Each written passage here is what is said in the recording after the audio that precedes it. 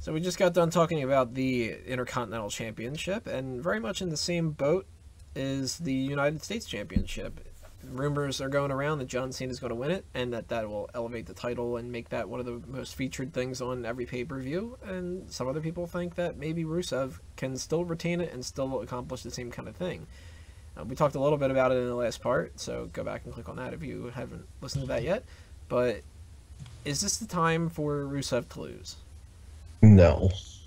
Nope, but the story they're telling, John Cena, for all the reasons that we've seen in wrestling in the past, should win. But I don't want to see it because we've all said it. If Rusev meets Cena and hits that roadblock, he's done. I don't know if he's strong enough to bounce back. Most people aren't. Especially if he doesn't have Lana with him. Shit. Yeah, that's fucking true. I hope they don't bring back Herpaderp. Mr. Mr. Totally Russian guy.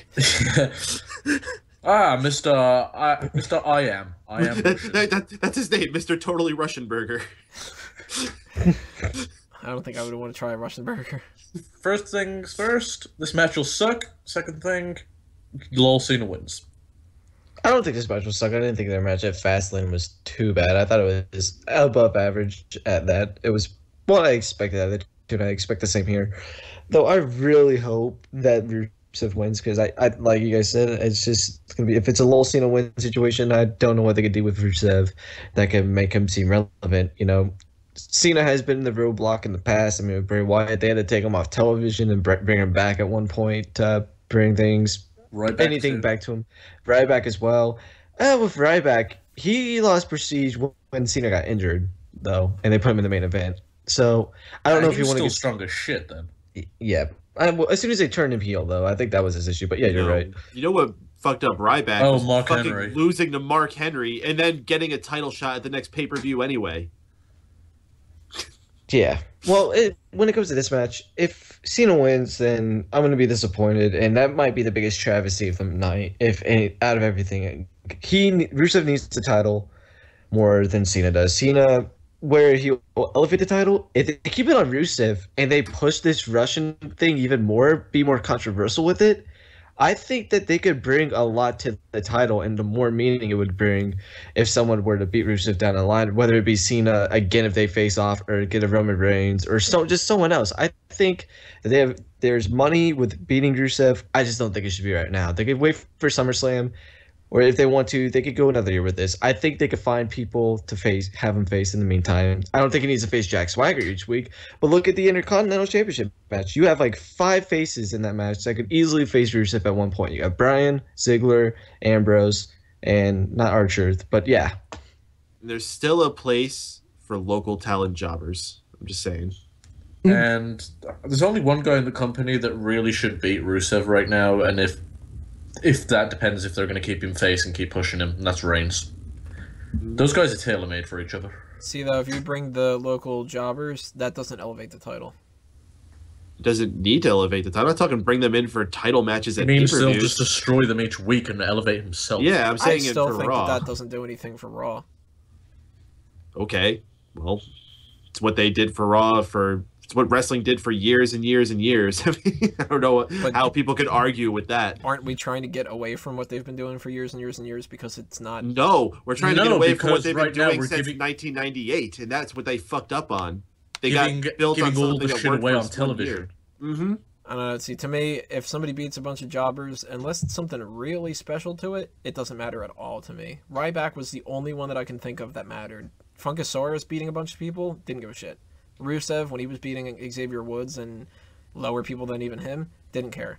I think So- Rusev needs to start facing two people. I believe. I think that might help him out. they Put two people in the clutch.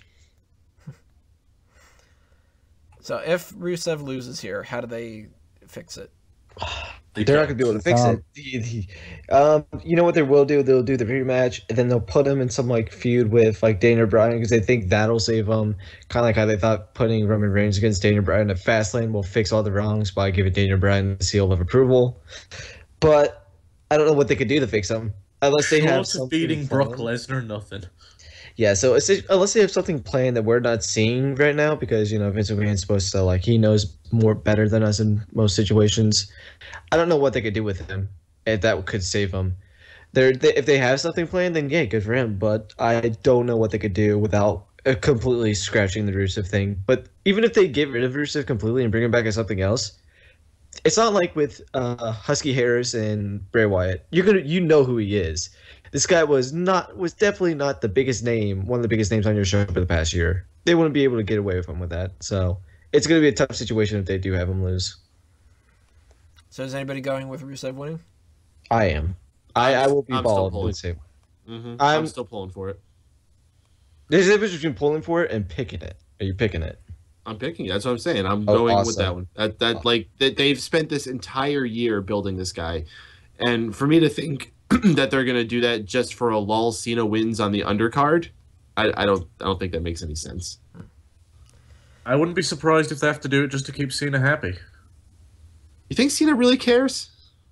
I don't know. Like I, I didn't. I never. cares as much I never. Cons- I never considered Cena to be that type of guy Yeah. until I listened to Chris Jericho and Edge. With the whole Wade Barrett thing, and pretty much Cena advocated for him to bury him. No, no. Cena is apparently Cena saw something different than him, and then afterwards he realized that he fucked up as soon as they were done. Apparently, like I know what the interview you were talking about, but Mhm. I don't. I feel, Cena. I think Cena understands the situation right now. He faced Bray Wyatt last year, and I don't know if he what he thought about that and how he is now. I mean, Bray Wyatt's facing the Undertaker, so he probably, if anything, Cena thinks he helped elevate Bray Wyatt.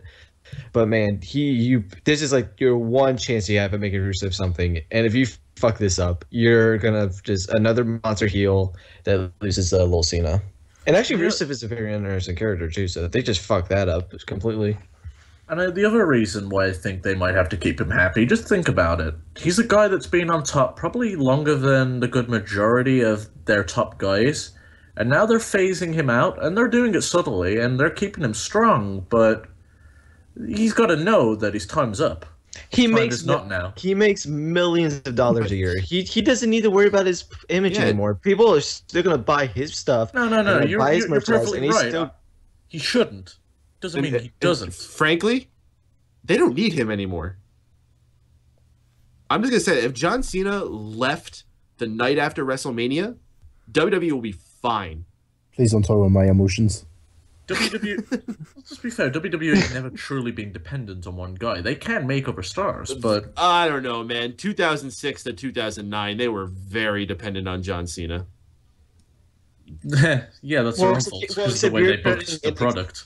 You're crediting NXT for bring, having all this great talent up there. If they got rid of Cena, then we'd be able to tell if they would be able to utilize that talent. You know I'm, they I'm will. saying because- even on the main roster. I mean, we got if you're talking about like big name, you got your Brock Lesnar there. You got all these guys that are already established up there. You got your Roman Reigns, your Dean Ambrose, your Seth Rollins, your Dolph Ziggler, your Daniel Bryan. They're fine. Cena can go. If he's not happy, if he's not happy doing the right thing here, doors over there, buddy. Thanks for your work for the last 12 years. We're done. Hmm. Uh, unfortunately, Vince doesn't see it that way either. Unfortunately, but I actually completely agree with you. If I was running it, I think that would be the obvious way to go. Yeah, I'm not saying you're not. I'm not saying you're wrong, Paden. I'm just saying I. There's a good chance that he might be that type Oh. of guy. It's a, it's a scenario they run in when they have these big guys and It's- they try and phase them out. And you're not wrong because you know what? We know how, how, how Hulk Hogan is and was and still is. No, ho, ho, ho. No, Well, and, Fun and, like, fact. good. No, I was just gonna say just a f- quick fun fact, just uh, about the John Cena thing. Uh, Del Rio did an interview after he left, and he said John Cena was the best person he ever worked with because everything made sense when Cena did it. So I don't know. It's pretty sketchy if you say that. And like, who is Edge to shit talk John Cena? Like, how much John Cena, Cena gave Edge get his big break. Yeah. It wasn't so much shit talking him. It was highlighting an incident where Cena really fucked a guy over. Yeah, well, how about that time where uh freaking what was it? Um was it Brodus Clay wasn't going to be on WrestleMania or something like that and he was like John Cena was like, "Hold on, I have to go to the bathroom really fast. Why don't you send Brodus out there to do his Oh, that's thing?" just a story. You don't know if that's true or not, though. Well, we don't know if this other thing is true either. They're both just That's stories. true.